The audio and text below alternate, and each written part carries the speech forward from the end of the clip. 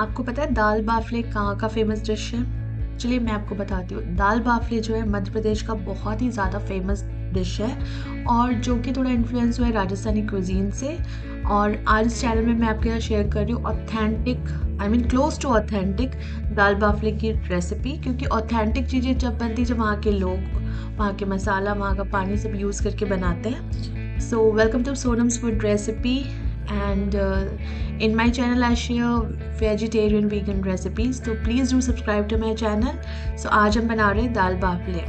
सो so, बहुत सारी चीज़ें आपको यहाँ पे डिफरेंट लगेगी क्योंकि मैं यूएसए में अपने किचन में बना रही हूँ ये सारी चीज़ें। तो आपको आ, बहुत सारी चीज़ें डिफरेंट बनेगी। पर अगर आप यूएस में रह के इस, इस तरह से बनाते दाल बाफले तो बिल्कुल आपको ऑथेंटिक टेस्ट आएगा। सो so, मैंने यहाँ पे इंस्टेंट पॉट में लिया है दाल उसमें ऐड किया पानी उसमें ऐड किया मूँगफली हल्दी और नमक। और इसको मैं प्रेशर कुक करने के लिए रख दूँगी। तो आप बिल्कुल चिंता मत कीजिए मैं सारे इंग्रेडिएंट्स जो है डिस्क्रिप्शन बॉक्स में शेयर कर दूँगी तो आपको इजी रहेगा बनाने के लिए। सो so, यहाँ पे मुझे इंस्टेंट पॉट में 10 से 15 मिनट से लगे बनाने के लिए और नॉर्मल कुकर में प्रेशर कुकर में शायद दो तीन तेज में और एक दो मध्य सीटी में काम हो जाएगा आपका। सो so, जब तक हमारा दाल रेडी होता है, मैं साथ में बनाऊँगी बैगन का भरता। तो यहाँ पे जैसे मैंने बोला, हर चीज़ आपकी डिफरेंट दिखेगी थोड़ी आपको। तो ये मेरा गैस टॉप है। ये इंडक्शन कुक टॉप है। तो इसके ऊपर मैंने ये रोटी सेकने वाली जाली रखी हुई है। उसके ऊपर मैंने जो बैगन था, उसको रखा है रोस्ट होने के लिए, ताकि हम इसका भरता बना सकें। तो जब ये बैगन बहुत कम्प्लीटली रोस्ट हो जाएगा, इसके बाद हम इसको इधर से निकाल लेंगे गैस से, और हम इसको पील कर लेंगे। तो यहाँ पे प्रॉब्लम क्या होती है कि जब जैसे मैंने ये बैगन रोस्ट करने के लिए रखा अपने इलेक्ट्रिक कुक टॉप में तो आप देख सकते हैं पूरा लीक होके ना वो नीचे इसमें चिपक गया। तो इसको अगर क्लीन कर, अगर मैं इसको अभी क्लीन नहीं करूँगी ना तो ये पूरे घर में स्मेल करेगा, जल, जलने वाली जो बदबू होती है ना, वो आने लग जाती है। तो मैं इसको गर्म गर्म में क्लीन कर रही हूँ। फिर थोड़ा सा ये ठंडा होगा ना, जैसे इंडक्शन कुक टॉप पे मैंने आपको बताया, वो बहुत टाइम तक गर्म रहता है। तो उसके बाद मैं उसको अच्छे से क्लीन कर दूँगी। यहाँ पे हम बना रहे हैं बाफला। तो बाफला और बाटी जैसे मैंने आपको बताया, दो डिफरेंट चीज़ें। बाफला जो लोग ना अलग अलग तरीके से बनाते हैं। कुछ लोग सूजी ऐड करते हैं, कुछ लोग कॉर्नफ्लावर ऐड करते हैं, कुछ लोग सिंपल सिर्फ़ आटा से बनाते हैं। तो इस तरीके से आप बनाएँगे ना, आपको काफ़ी काफ़ी काफ़ी काफ़ी अच्छा लगेगा। तो यहाँ पे मैंने लिया वीट फ्लावर सूजी कॉर्नफ्लावर और दही, घी, हल्दी नमक, अजवाइन। तो ये सबको हम अच्छे से मिक्स करके पूरी जैसा इसका डो बना लेंगे और मैं फिर से रिपीट करती हूँ कि बहुत सारे लोग अलग अलग तरीके से इसका डो बनाते हैं और ये डो मेरा काफ़ी अच्छा बनता है तो आप ऐसा ट्राई कर सकते हैं। वाफला जो होता है ना, वो जो होता है येलो कलर का होता है तो हम कॉर्नफ्लावर में हल्दी नहीं भी ऐड करेंगे तो भी चलेगा, क्योंकि हमने इसके बाद में हम इसका पानी उबालेंगे, उसमें भी हम हल्दी ऐड करें तो हल्दी आप ऑप्शनल है हल्दी।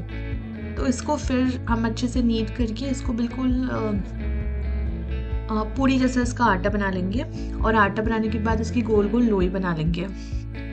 जब मैं इसकी लोई बना रही हूँ ना, मैं इसको बहुत ही अच्छे से इवन गोल नहीं कर रही हूँ, आप देख सकते हो। मैं इसको थोड़ा सा ऐसे हल्का सा अनइवन सा ही गोल कर रही हूँ, क्योंकि जब आप इसको बेक करेंगे ना ये बहुत सुंदर दिखेगा, ये थोड़ा थोड़ा ऐसे फुल के यू नो क्रैक जैसा बनेगा। ये काफ़ी सुंदर दिखता है, काफ़ी ब्यूटीफुल लगता है और इसको आप कोई बहुत लोग फ्लैट भी बनाते हैं फ्लैट करके उसमें जैसे बताओ मैं आपको, मेदू बड़ा मेदू बड़ा होता है ना, वैसा भी लोग बनाते हैं तो आप उस शेप में भी बना सकते हैं। तो यहाँ पे सारी जो बाफले बाफले को मैंने अच्छे से राउंड शेप में करके रख दिया है। मैं क्या करूँगी, अब मैं इसका पानी बॉईल करूँगी तो क्योंकि बाफले को बॉईल करना पड़ता है और बाटी को बॉईल नहीं करना पड़ता।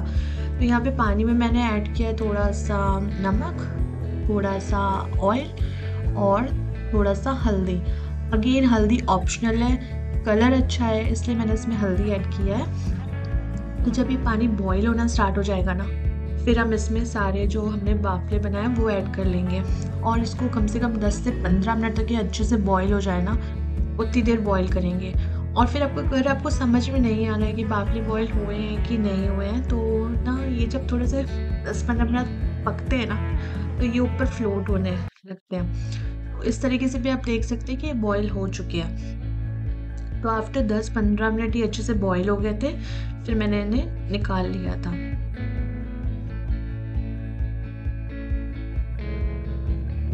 सो so, यहाँ पे दाल और सब्ज़ी को छोंकने के लिए मैंने प्याज लहसुन अदरक टमाटर हरी मिर्च सब काट लिया और मैंने उसको दो पार्ट में डिवाइड कर लिया है ताकि मैं आधा यूज़ कर सकूँ दाल के लिए और आधा यूज़ करूँ भरते के लिए। सो so, मैं सारे इंग्रेडिएंट्स के जो है ना मेज़रमेंट वो मैं डिस्क्रिप्शन बॉक्स में दे दूँगी तो प्लीज़ आप डिस्क्रिप्शन बॉक्स में चेक कर लेना सो so दैट आपके लिए ईजी हो कुक करना। तो यहाँ पे बाफले भी सारे रेडी हो गए बाफले को भी हम निकाल के रख लेते हैं और कम से कम ये पाँच मिनट तक थोड़े से मतलब सूख जाए ना, उसके बाद हम इसको बेक करने रखेंगे। एकदम से हम इसको ओवन में नहीं डालेंगे। तो सारे बाफले हमारे यहाँ पे बॉईल हो चुके हैं। तो हम ओवन को प्रीहीट कर लेते हैं। तो हमने ओवन को प्रीहीट करने रख दिया तो हमें करना है इसको मतलब जितना मैक्सिमम आपका ओवन जितना गर्म होता है, उतने में करना है। अप्रॉक्स अगर 500 तक भी जाता है तो उतने में करना है। मैंने यहाँ पे 450 किया है। और इसको प्रीहीट करने रख दिया और इसको बेक करने में मुझे लगभग लगे थे 20-25 मिनट्स और यहाँ पे दाल के लिए मैंने यहाँ पे जो खड़ी धनिया होती है ना इसको अच्छे से कूट लिया है। और अच्छा अगर भरता ठंडा हो जाए और आप इसको स्पून की मदद से उसको ऐसे स्कूप करेंगे ना तो बहुत ही इजी उसका सारा पील निकल जाएगा और थोड़ा आपका टाइम बचेगा। तो यहाँ पे मैंने भरते का जो छिलका था उसको अलग कर लिया है। और अब हम बनाएँगे इसकी सब्ज़ी। so, सबसे पहले मैं भरता बना रही तो भरता के लिए मैंने ऑयल गर्म किया उसमें ऐड किया मैंने जीरा और थोड़ा सा राई और फिर ऐड कर दिया इसमें प्याज। इसमें ना बहुत सारा लहसुन डालना इसमें लहसुन का टेस्ट बहुत अच्छा आता है। तो जितना आप गार्लिक डालेंगे उतना भरते में ना टेस्ट काफ़ी अच्छा आता है।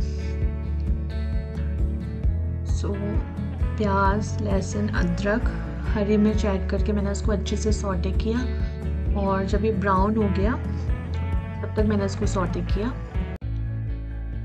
उसके बाद मैंने इसमें ऐड कर दिया टमाटर। ये देखिए अच्छे से पक गया। अब इसमें ऐड कर दिया मैंने टमाटर।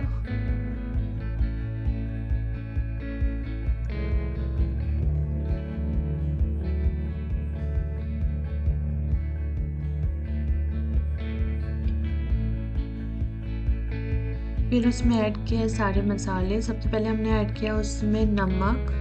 तो नमक आप जब टमाटर में ऐड करेंगे, या कोई भी सब्ज़ी में ऐड करते हैं ना तो सब्ज़ी जल्दी पकने लग जाती है। तो यहाँ पे मैंने ऐड किया सॉस। और फिर सारे बेसिक मसाले, जैसे कि हल्दी, धनिया, गरम मसाला, लाल मिर्च पाउडर सो सारे बेसिक मसाले मैंने इसमें ऐड किए। उसके बाद उसको मैंने अच्छे से पकने दिया है। फिर इसमें हमने ऐड किया भरता और अच्छे से मिक्स किया। काफ़ी मतलब ईज़िली बन जाता है ये और काफ़ी टेस्टी भी बनता है। फिर जब मैंने इसको बनाया, फिर मेरा मन किया कि मैं इसमें ऐड करूँ थोड़े से मटर, क्योंकि इंडिया में जब वो फ्रेश मटर ऐड करते हैं ना किसी भी चीज़ में विंटर्स में तो उसका कॉम्बिनेशन काफ़ी अच्छा आता है। अब यहाँ पे फ्रेश मटर तो नहीं बट फ्रोज़न मटर था मेरे पास तो मैंने उसको ऐड कर दिया। और कभी मैंने सब्ज़ी में जैसा थोड़ा सा कुछ आप ग्रीन ऐड कर दो तो वो सब्ज़ी दिखती भी काफ़ी अच्छी है। तो ये रेडी हो गया, बहुत टेस्टी बनी थी मेरी मेरी सब्ज़ी। और दाल वाफलों के साथ तो भरते काफ़ी अच्छा कॉम्बिनेशन है। तो ये देखिए कितना कितना ब्यूटीफुल लग रहा है ये। और ग्रीन कलर से तो और भी अच्छा अच्छी लग रही है सब्ज़ी। फिर यहाँ पे जो है ओवन भी रेडी हो गया था तो मैंने उसमें बाफले डाल दिए। तो मैंने इसको पहले प्री हीट करने के लिए रखा पहले मैंने अवन को 15 मिनट्स के लिए रखा था बेक करने में अवन में बाफले बट 15 मिनट्स में ये हुए नहीं थे इसको अप्रॉक्स 30 टू 35 मिनट्स लग गए थे। काफ़ी टाइम लगता है इनको बेक होने में। तो 30 टू 35 मिनट्स लग गए थे। तो इसको आप बीच बीच में चेक करते रहना। कि वो पके कि नहीं क्योंकि कभी कभी क्या होता है कभी साइज़ में भी डिपेंड करता है। बड़ा है तो टाइम लगेगा उसको पकने के लिए छोटा है तो जल्दी पक जाएगा। सो so, वो आप चेक करते रहना। फिर यहाँ पे हम दाल आ, दाल बना रहे हैं। तो हमने बिल्कुल बेसिक तरीके से बनाया। हमने ऑयल गरम किया उसमें हींग जीरा राई और जो खड़ा धनिया था वो ऐड किया। फिर उसमें हमने तेज पत्ते और खड़ी लाल मिर्च ऐड करी। फिर बिल्कुल बेसिक सा जो हमने प्याज काटे थे हरी मिर्च काटी थी और लहसुन अदरक का पेस्ट था, वो सब ऐड किया। और जैसे आप कोई भी नॉर्मल सब्ज़ी बनाते हैं ना, वैसे ही हमको इसको छौंकना है। फिर जब प्याज अच्छे से पक गए, उसके बाद इसमें टमाटर ऐड किया हमने और उसको भी हमने पकने तक के, पकने दिया। फिर उसमें हमने नमक ऐड किया। नमक ऐड करने से कोई भी चीज़ बहुत जल्दी पक जाती है। फिर हमने उसमें नमक ऐड किया। फिर जब टमाटर अच्छे से कुक हो गया, फिर उसमें हमने बेसिक मसाले ऐड किए। वही हल्दी, धनिया, मिर्च पाउडर और गरम मसाले। सो बेसिक बहुत ही इजी रेसिपी मैं आपके साथ शेयर करती हूँ अपने चैनल में और कोई भी बना सकता है देख के। कोई हार्ड एंड फास्ट कुछ बहुत ही यू नो टफ मेथड नहीं होते तो अगर अपने चैनल को देख रहे हो तो चैनल को ज़रूर सब्सक्राइब करें क्योंकि मैं काफ़ी इजी इजी रेसिपीज़ जो मैं डे टू डे लाइफ में यूज़ करती हूँ ऐसे मेथड्स आपके साथ शेयर करती हूँ और हैक्स भी शेयर करती हूँ तो प्लीज़ चैनल को ज़रूर सब्सक्राइब करना। एंड uh, यहाँ पे हमने मसाला भी अच्छे से भूज लिया है फिर उसमें हमने ऐड कर दी अपनी दाल। अब जो बाफले की दाल होती है ना वो काफ़ी पतली होती है। अभी ये दाल काफ़ी गाढ़ी है तो हम इसमें थोड़ा सा पानी ऐड करेंगे। और uh, ये बाफले की दाल होती खट्टी मीठी। तो यहाँ पे मैंने ऐड किया है गुड़ और साथ में हम ऐड करेंगे यहाँ पे इमली। तो इससे इसमें हाँ जो खट्टा मीठा टेस्ट है ना, वो आ जाता है। तो यहाँ पे मेरी दाल भी रेडी है और हमारी बाटी भी रेडी है। तो ऑलमोस्ट सारा खाना रेडी है। तो बाटी काफ़ी गर्म थी तो मैंने इस तरह उसको तोड़ने की कोशिश की और जैसे ऊपर से ना ये बहुत ही हार्ड रहती है और अंदर से ना ऐसे सॉफ्ट रहती है और ऐसे समझ में आ जाएगा आपको कि पक गई थोड़ा सा जाली जाली सा दिखेगा। तो दोनों मेरी बाटी भी रेडी है। उसके बाद हमने बाटी को घी से निकाला और घी में इसको मतलब थोड़ा सा घी डाले पैन में और बाटी को एक एक करके तोड़ के आप निकालते जाएँगे। तो बाटी, आपकी बाटी भी रेडी हो जाएगी। तो यहाँ पे सारा खाना रेडी है ऑलमोस्ट और ये this was all about authentic dal bafle recipe और अगर आप यूएसए में रहते तो इस तरीके से आप बना सकते हैं दाल बाफले और काफ़ी यूनिक और अच्छी रेसिपी है। थोड़ी मेहनत लगती है बट मेरे चैनल में मैं आपको बहुत ही इजी स्टेप्स बताती हूँ खाना बनाने का। सो आई होप आपको ये पसंद आए। और ये, मैंने दाल के ऊपर ना हल्का सा दाल मिर्च और जीरा से छौंका था दाल को। ताकि इसका लुक बहुत अच्छा है और ये ऑप्शनल है, चाहे तो आप करिए, चाहे तो नहीं कीजिए। उसके बाद हमने इसको सर्व किया सैलड अचार और मीठे में हमने लिया था हलवा। और काफ़ी अच्छा बना था। आई होप आप लोग को ये वीडियो अच्छा लगा होगा। प्लीज़ चैनल को ज़रूर सब्सक्राइब कीजिए। बहुत ही इजी इजी वेजिटेरियन रेसिपीज़ मैं शेयर करती हूँ। और क्विक रेसिपीज़ शेयर करती हूँ हेल्दी रेसिपीज़ शेयर करती हूँ। तो आई होप आप लोग को ये वीडियो अच्छा लगे। Thanks for watching